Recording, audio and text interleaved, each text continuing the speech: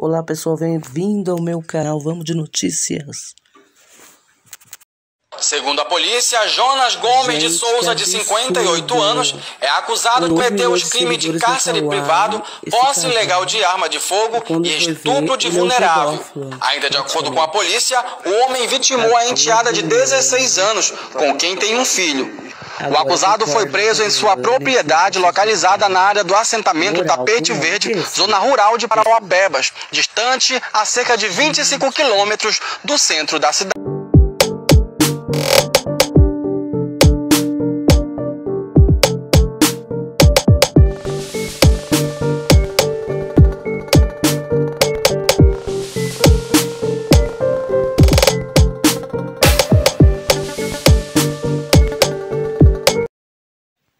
Tá aí, gente, essa história bizarra. Curtam o canal, compartilhem.